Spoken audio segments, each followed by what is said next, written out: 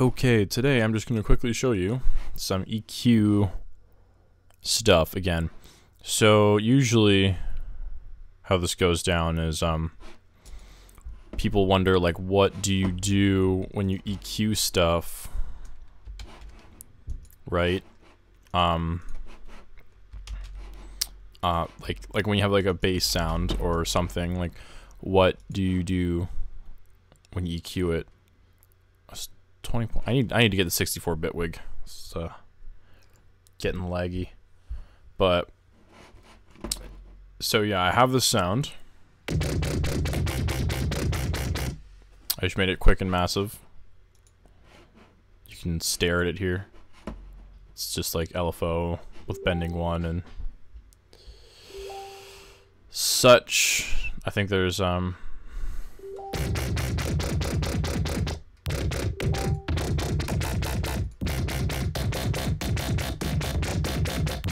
That actually sounds a bit better. Then I added FX to it. I don't know what's happening to my Facebook right now. I'm sorry.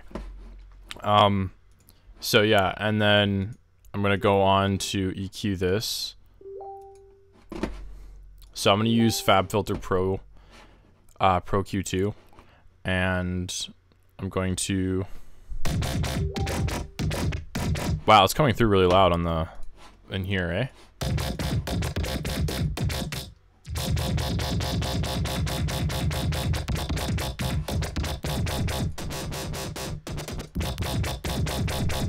Actually, doesn't really matter. Anyway, so this is what we got. So there's two ways you can very like mix your mix your basses in a good way. So this is how I do my bass mixing. So what I basically do, basically, haha, um,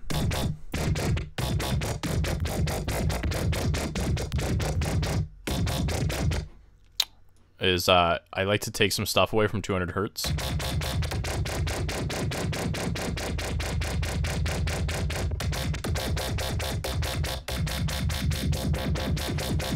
You have to find the sweet spot.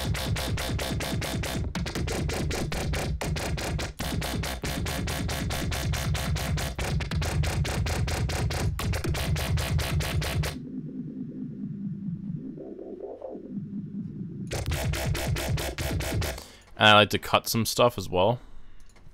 At like um 200.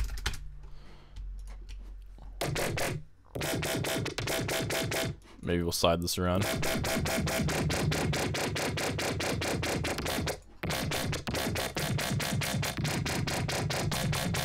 Boost the high stuff usually.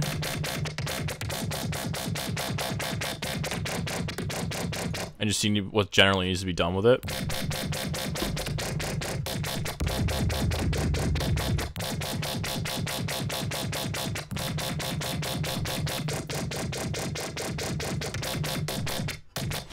Now I've gotten rid of all the bass, right? So when I actually use this in context,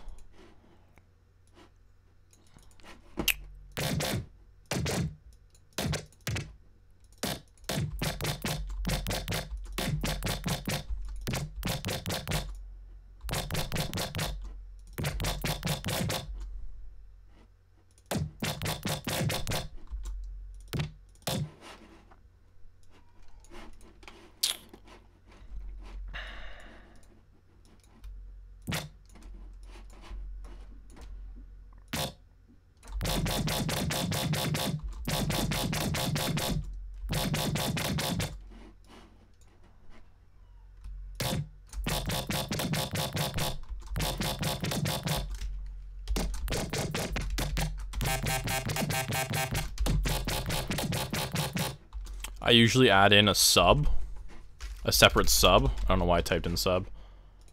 And uh, I don't do it in this. I do it in Massive, depending. And it's just gonna be like a sine wave. I actually do like three sine waves. And uh, I like move their amplitude up a bit. One's at a fifth up and one's at an octave.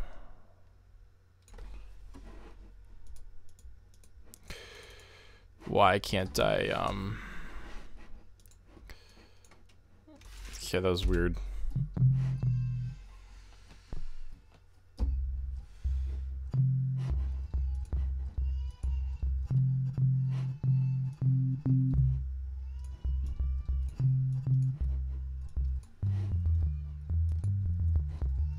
And you hear it a bit, and then maybe like, I don't know, put them together.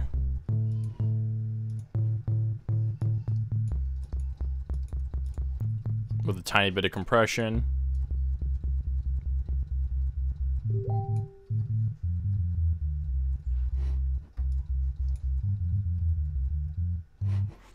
And then I add my pitch mod just in case I need it. I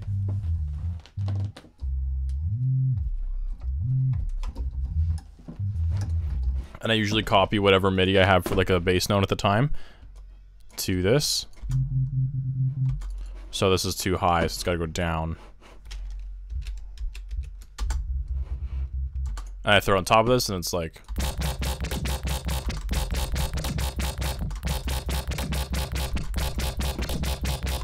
instead of it being where it was before, where if I didn't have this or any EQing, it would sound like this.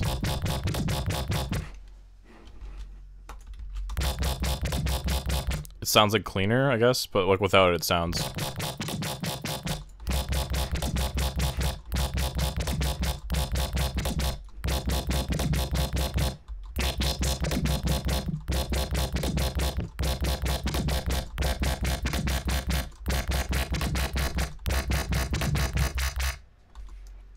if you put this...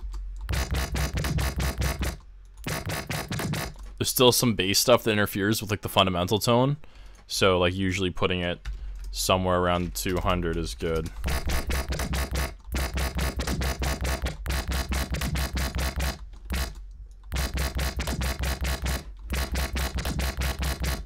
It's that subtone that makes it like really good. That's my example, uh, we could grab like a actual bass, like a, like I guess a bit like a different one. Let's use something from Virtual Riot, like a um.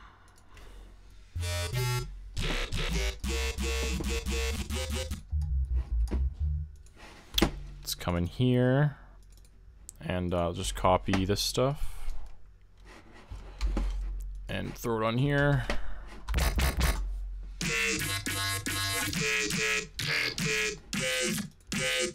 Probably doesn't like this setup here.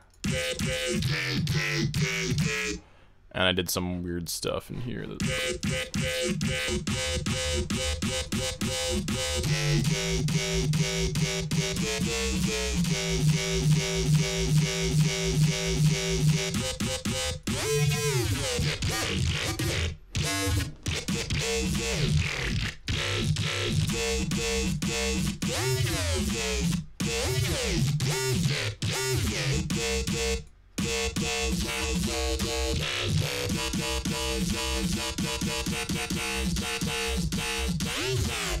That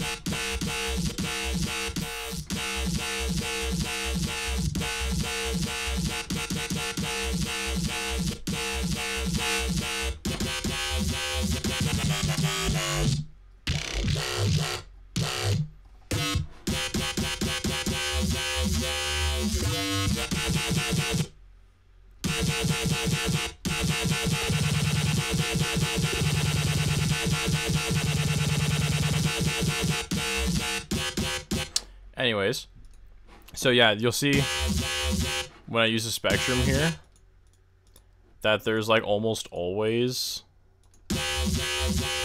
some like bass tone having a party over here.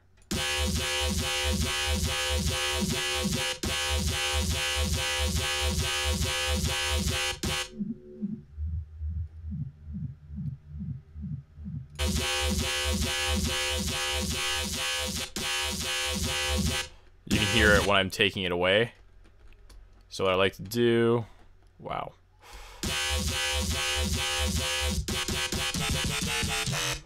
Again, I'm just gonna do what I did on the other one.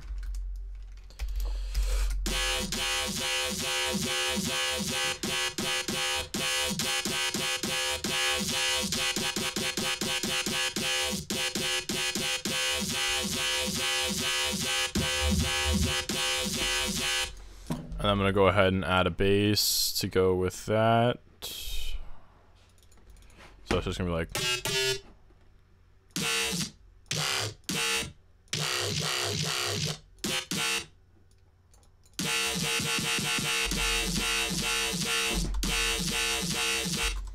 And then copy that to a sub, but you can hear how it's like it's like pumping. So basically, all you got like for the sub, you'd have to um do like.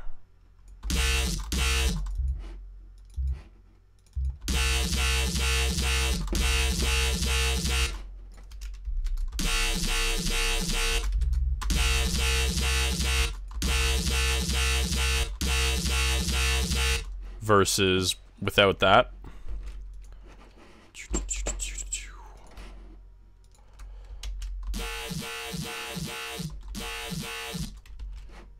You can make it like louder much quicker.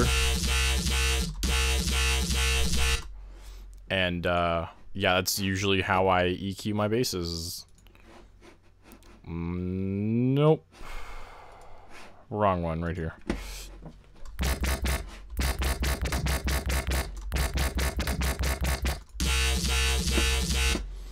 Is you um,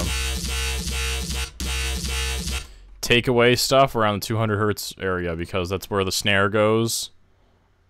And you already have a side chain. So it really emphasize like the snare and stuff. But that, that's where all the fundamental stuff is between like 110 and 200. So when you have synths and stuff being played on top of that, because you can see here on this this line that goes down, this is the 200 line, the where my cursor is, this thing right here, all the way down, that's the 200 line. So if we go look at like a synth from like Massive or anything really and just play like a wave.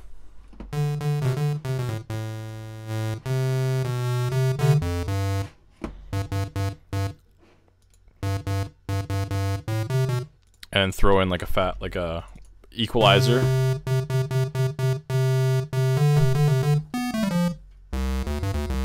I'm playing a saw wave at a bass tone. And you can see it's got a subtone here. And it's got its it's like primary fundamental tone after the subtone right right here.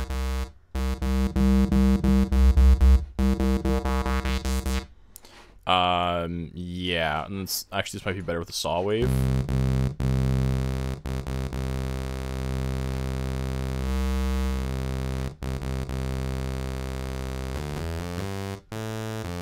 And it moves up, right? So you kind of want to get this whole area.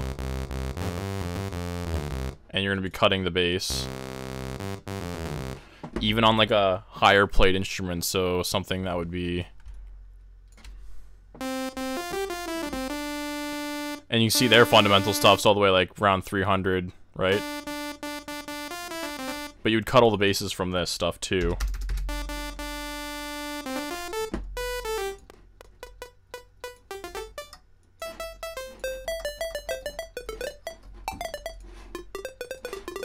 So say you had this being played over and over again. And You want to put an ARP on it.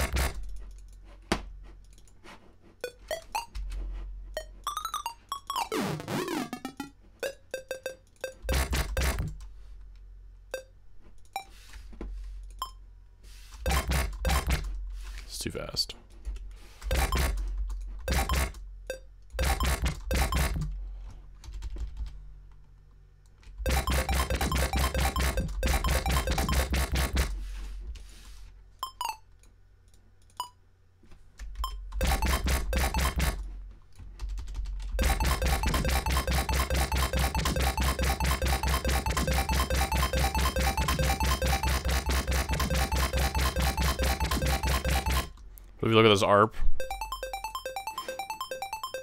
it's got different, it's actually in different areas um, of the, the, the, the, the, the, the, of here. No.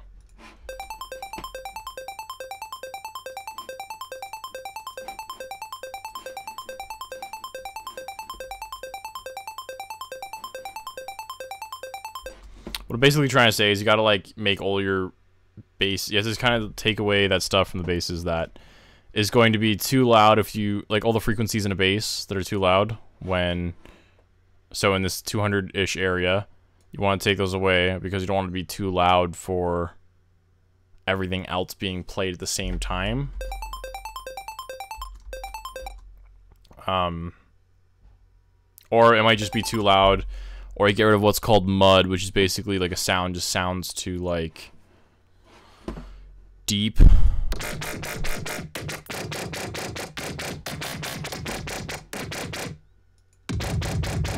Like there was a ridiculous amount of subtones there.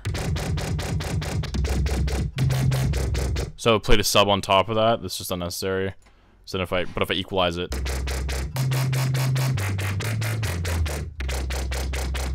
then it is kind of necessary. That's what I'm saying. Basically, just um, you want to you want to do sub cuts around 200 to make room for your sub because if you look at the sub it's all being played.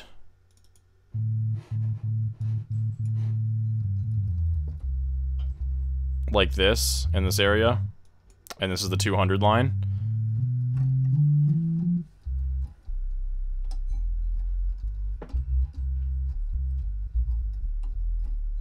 So as long as you're playing sub like where it's supposed to be, then you want to make sure that this stuff, if actually let's line them up vertically like this. See how the cut's like made in the right spot. Um, although you do want some stuff in there, kind of like a little bit of artifacts, but you could you could always make this like a 24 cut, so it's like cleaner.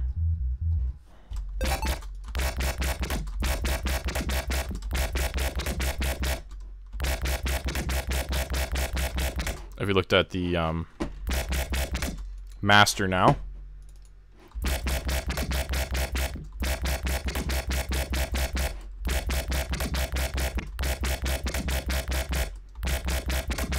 And like, look what happens if I take away this.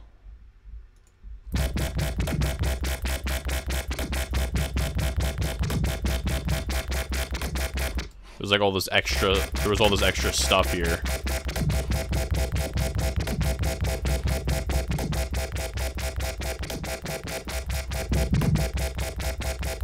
That starts to sound better if you take it away, but obviously you can't really do that on a master track because things get like that's just bad mixing. So then you want to do it per instrument. Make sure everything want to work wants to work together. If you want to, you can even like cut this. But that would just stop you from playing like higher stuff. So, yeah. Alright, thanks for watching. Bye.